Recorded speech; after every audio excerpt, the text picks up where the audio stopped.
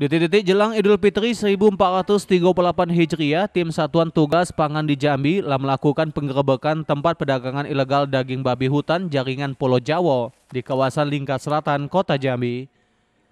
Tim terdiri dari aparat Polda Jambi serta unsur pemerintah kota dan provinsi Jambi.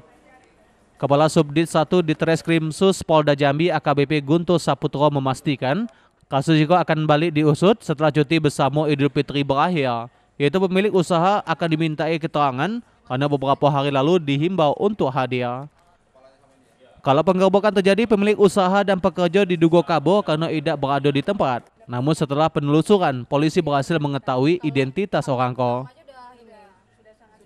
Dari penggerbekan itu, petugas menyita 2 ton daging babi hutan. Hasil pengujian di tempat, daging babi tersebut berkondisi busuk. Beberapa potong daging iko dikatokan Kasubdit 1 di Kreskrimsus Polda Jambi masih dilakukan pemeriksaan atau uji mikroba oleh Dinas Peternakan Provinsi Jambi lalu sisonyo ladikobo. Doli Maulana, Jambi TV.